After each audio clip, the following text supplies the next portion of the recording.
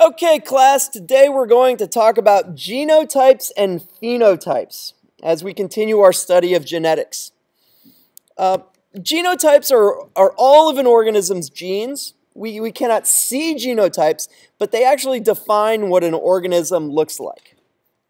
Now, a phenotype is also is an, all of an organism's visible traits, and you can see it, and it actually is what an organism look, looks like, rather than defining what an organism looks like. So we can take a, a look at an example here of these, these two rabbits. Um, be, given the fact that they're different colors, one may suspect that they may have different uh, genes and therefore be, be coming from, come from different parents.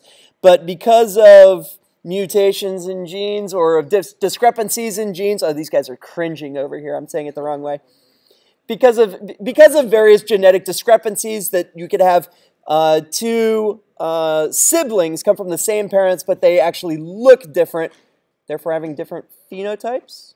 Ah, look, I said something that was right. All right, so let's uh, let's review. We've got an image here of two children. What do we know is true? What's what? Which of the following statements is true about these children? They are A, definitely not related. B, they're related, but they must be, if they're related, they must be distant relatives. Or could they in fact be twins, given what we've studied about phenotypes and genotypes? Click on the statement that is true about these twins.